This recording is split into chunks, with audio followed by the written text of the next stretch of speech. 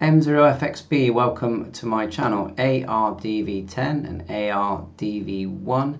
These radios with the new firmware are now able to use Tetra. Now, I don't know much about Tetra. I know that in America they use the trunk system and P25, and that in Europe they use Tetra, which is apparently similar. It's an encrypted way of communication, and I definitely don't um, promote anyone listening to what they shouldn't listen to. But when you buy the new ARDV10, which is uh, in stock now, it does say that after the new firmware, they added the, this is what it says here, Tetra GSSI. That's what it says. The optional function to activate this Pro feature can now be purchased.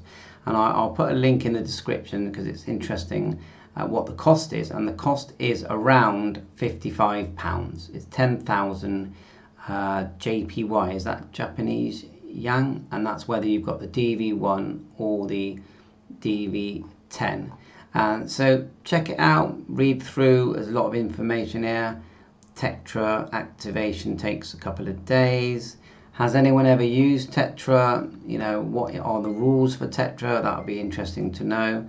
Give me some information. The new firmware, which is 2205A, just fixed a few bugs. If you look here, they it looks to me like they brought in the Tetra thing in 2021. But correct me if I'm wrong. I know it's quite a big one here.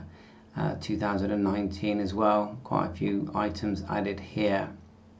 So all the links in the description will be there for the firmware, uh, this receiver, you know, this nice brochure with all the links, brochure, manual, firmware, the software that you use to program this. And you can program this software and import frequencies from RRUK and Radio Reference.